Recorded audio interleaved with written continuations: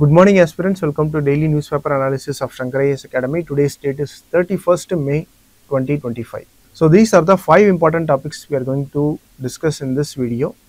The first topic about increase in Indian coastline. So the Indian coastline length was increased recently and what is the reason? So this is what we are going to discuss in this news. The second article is about the oil spill, the recent oil spill in the Kerala coast. The third article is about the TN space industrial policy. Tamil Nadu government has announced its own space industrial policy. The fourth article is about the danger in the sea. So this is also about the India's maritime disaster preparedness. So this is in the light of recent uh, shipwreck in Kerala coast and we are going to discuss about the maritime preparedness of India, what are the challenges in it and what will be the way forward. The fifth article is about the Manipur violence, why there is a, a recent tensions and still not the peace has achieved in Manipur. So these are the five important topics we are going to discuss in this video. Now let us get into the discussion. Before getting into the discussion, this is an important announcement. Shankar IAS Academy's regular batch is starting on 6th June and a new CSAT batch is starting on 23rd June. So look at the details here. Interested aspirants can use it. Now let us get into the discussion. Now look at this article. In 2024, Union Ministry of Home Affairs has announced that India's coastline has increased. So our coastline was previously measured as 7,516 km and now it was determined as 11,098 km. So there is a drastic increase in the length of coastline but this doesn't mean that India got more land or new islands. This is just a, a change in measurement of coastline. How we measure the coastline has been changed. So there were no political or natural events which caused this increase in coastline. Just how we measure the coastline has been changed. If you take Goa, the last coastal state to join India, it became part of our country in 1961. And Sikkim, uh, which joined in 1975, is also a landlocked state. And even India-Bangladesh land swap happened in 2015, which also involved only inland territories. So there is no way that India got new land or a new island. But this increase in coastline is about how the coastline is measured and not due to actual changes on the ground. In 1970s, our coastline was measured to be a length of 7,516 km. In 2024, it was measured to be 11,098.8 km. Previously, we used paper maps to determine the length of coastline. Now we are using digital tools like electronic navigation charts. Previously, we used the manual drawing methods. Now we are using the GIS satellite tools and drones. So the techniques we are using and the tools we used have also changed which uh, created a new length of Indian coastline. Many islands were also not included in past calculation now we are including every island and the coastlines are measured in detail. So now the coastline is measured with more accuracy and greater detail by using advanced technology and better maps. Now look at this prelims practice question. The apparent increase in India's coastline length is due to inclusion of new offshore islands and sediment deposition from river deltas.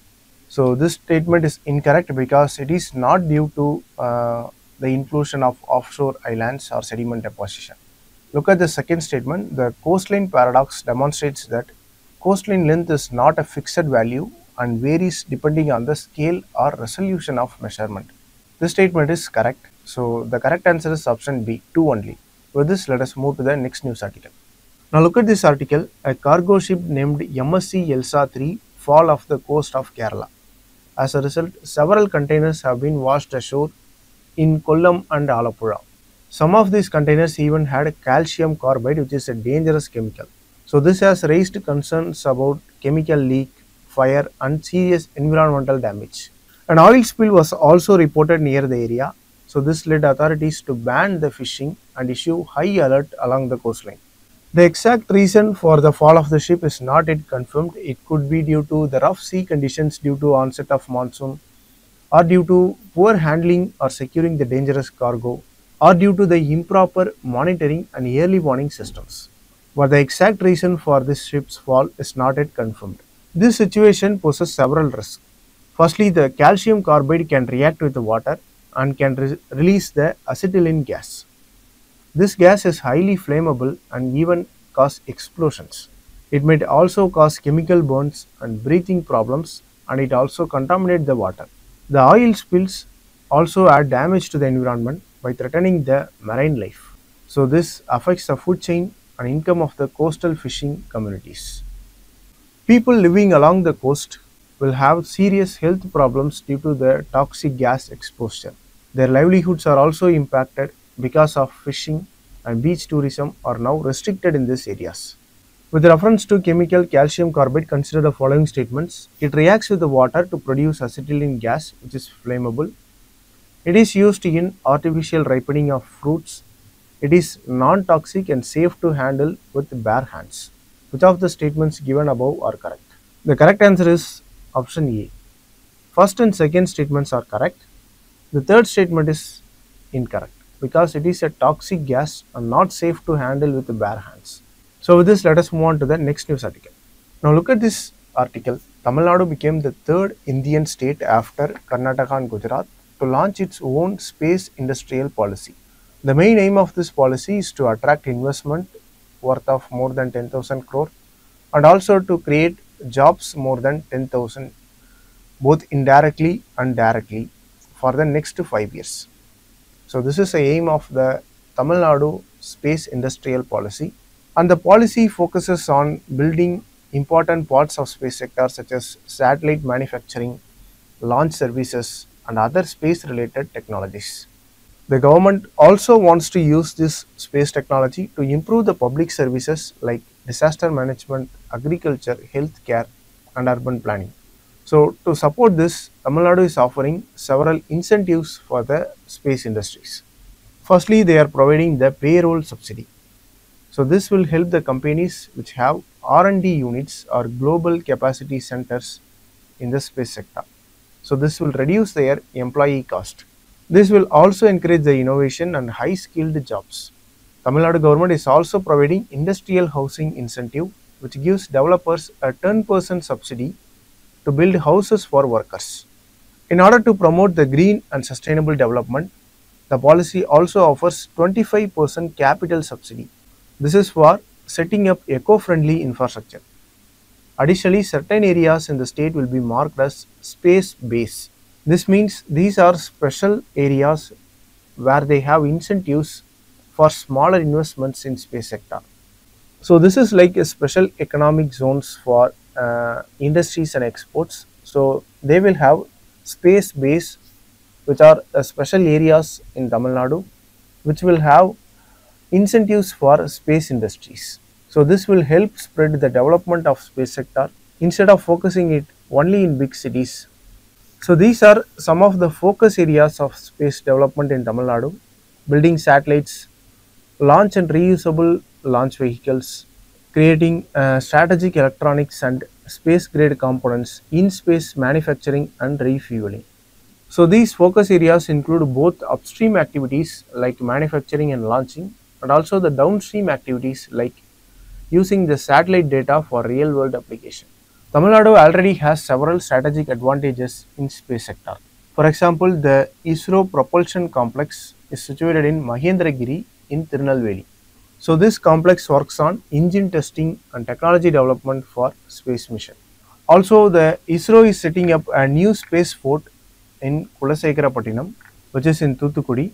So this will be India's second launch site and this will also be perfect for launching satellites into polar orbits. So these are some of the advantages for Tamil Nadu already in space sector. Now look at this prelims practice question. What is the primary role of ISRO propulsion complex in Tamil Nadu? The correct answer is option C, testing cryogenic and earth storable propellant engines. So with this, let us move on to the next news article. Now look at this editorial page article. We are going to discuss about the same Elsa 3 incident of the coast of Kerala. But here we are going to discuss about India's maritime disaster preparedness. What are the challenges in India's maritime disaster preparedness and what should be the way forward? So we are going to discuss this topic in the mains exam perspective. This cargo ship which carried the hazardous materials caused severe safety concerns and environmental concerns. It had 13 containers of dangerous cargo which includes a calcium carbide and rubber solution. This fall of ship has already caused the plastic pellets to wash off the coast. So this incident shows that India should have adequate system for maritime disaster. Past incidents like 2017 Chennai oil spill shows that the extent of ecological damage caused by the oil spill. The leakage of plastic pellets into the sea creates a long time harm to the marine life because cleaning of these plastic pellets from the ocean is very difficult and it is also very difficult to trace these uh, pellets and cleaning them up. So this might lead to long-term damages to the marine life. Let us see the institutional and policy framework regarding the maritime disaster preparedness. India relies on the National Oil Spill Disaster Contingency Plan and this plan is operated by the Coast Guard and it serves as the primary oil spill response mechanism. However, this framework lacks the real-time coordination with the state agencies. They also lack the real-time coordination with the private ports. The Director General of Shipping, who is responsible for the safety of shipping, is also weak in enforcing the container inspection and monitoring the aging vehicles. Also, India's ability to respond to these maritime disasters is limited by the fragmented authority. Another important challenge is poor interagency communication and outdated infrastructure. Enforcement of international regulation like maritime International Maritime Dangerous Goods Code is also weak in our country and the tracking of dangerous cargo is inadequate. Moreover, the coastal communities who are affected first due to these maritime disasters are not involved in planning and training to reduce these impacts. In order to address these issues, India must strengthen the institutional mechanism first. The Coast Guard and the National Action Plan regarding this maritime disaster should be empowered with a real-time tracking system and a joint coordination platform. Major ports must be set up with a nodal disaster cells so they can conduct their regular emergency drills and can act upon the maritime disaster in a real-time manner. The hazardous cargo in ships should be digitally tracked through the blockchain-based systems. Additionally, training the coastal communities and using modern technology like drones, satellite imaging, and marine surveillance will improve early response and monitoring. So, in conclusion, this ELSA 3 incident is a warning for India. The country aims to become a global maritime power, but its disaster preparedness must be improved a lot. A decentralized and a technology driven approach is necessary for handling these maritime disasters. So, with this, let us wind up the discussion. And this is a mains practice question regarding this topic. Examine the challenges in India's response mechanism to maritime disasters in the light of recent MSC ELSA 3 incident off the Kochi coast. Suggest measures to strengthen India's maritime disaster preparedness. So we have to address what are the challenges in India's response mechanism and what should be the measures to be taken to strengthen this disaster preparedness. So with this, let us move on to the next topic. After intense ethnic violence which broke out in May 2023 in Manipur, president rule was imposed. Even after the president rule, uh, there is a, even though there is significant reduction in the violence, the peace and normalcy is still a dream in Manipur. There was ongoing distress, displacement, and lack of reconciliation between the two important tribes, the Meitei tribe and Kuki-Zo community. So this uh, distrust and displacement have destabilized the region. Also, the recent incidents like protest during the Shirui Lily festival have also reignited the tensions. So this reflects the fragility of the situation. So this is what discussed in this editorial page article. Now let us discuss the key challenges which still persist in Manipur. One is ethnic polarization and displacement. There was deep-rooted communal divide between the Meitei tribe and Kuki-Zo tribe. The Meiteis live mostly in the valley of Manipur and the Kuki-Zo communities live in the hills.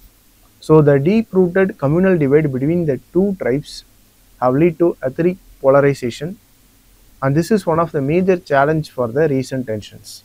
The thousands of these tribal people are displaced and they are unable to return to their home due to lack of safety and property loss. There was also no signs of reconciliation in Manipur. Reconciliation is very critical for long-term peace and there is no sign of reconciliation. The next one is breakdown of trust in state institution. The civil society groups have replaced the formal institutions and they act as the mediators of peace. The symbolic actions of the state government also which is perceived as the appeasement process or bias against certain communities have increased the tensions. So there is a trust deficit in the state government institutions. The next important challenge is militancy and armed groups. Even though there is partial recovery of looted arms from the militants, they still exert their influence in the region. So the presence of these armed ethnic groups threatens the peace forever. They also discourage the return of displaced families to their original land. The next one is a vacancy in governance. With the impact of the president rule in the place, there is no democratically elected assembly. Some MLAs claim to have majority demanding the restoration of assembly in Manipur, but restoring the assembly will prematurely exaggerate the situation. The next one is demand for separate administration. The Kuki-Zo communities demand for separate administration and this has also sharpened the ethnic tensions. The Meitei group sees them as a threat to Manipur's territorial integrity. So this demand for separate administration from Kuki-Zo groups have intensified this situation. Now what can be the way forward? One is re-establishing the law and order there should be complete disarmament of all insurgent and militant groups both in the valleys and the hills. We should strengthen the neutral security forces, make them more present in the valley and hills and prevent any community dominated paramilitary setup. So there should be presence of neutral security forces without the community dominated ones. Next one is inclusive peace process. We should initiate a broad based dialogue involving all the community, civil society and neutral facilitators. Next one is building confidence building mechanism. So the safe return of the displaced communities, the common cultural events and the neutral uh, distribution of aids and help should be uh, carried on. So this will encourage the confidence building between the communities. And this is a mains practice question regarding this topic. With this, let us conclude the discussion. With this, we have come to the end of the discussion. If you like the video, please share it with your friends and don't forget to subscribe to Shankar Academy YouTube channel. Thank you for watching.